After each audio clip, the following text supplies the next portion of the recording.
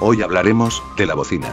Sony MRDZX110, haremos un breve análisis de esta bocina. En este momento podemos notar, el diseño de las bocinas, son muy pero muy elegantes. A simple vista podemos ver, aún sin usar las bocinas, que su comodidad en los parlantes son cómodos, y bien acorchonados, y así, lo son.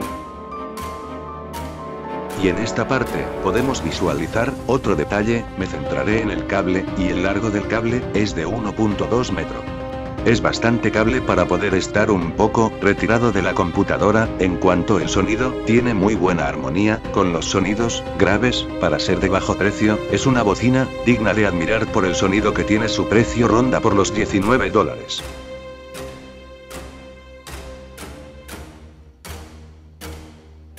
Esta posición que pueden ver ahora mismo, es la forma en cómo las bocinas vienen, cuando están en su empaque, lo que más me gustó es que puedes girarla para poder llevarla en cualquier espacio, sin ocupar mucho lugar, el diseño fue algo innovador en esta parte, de la bocina.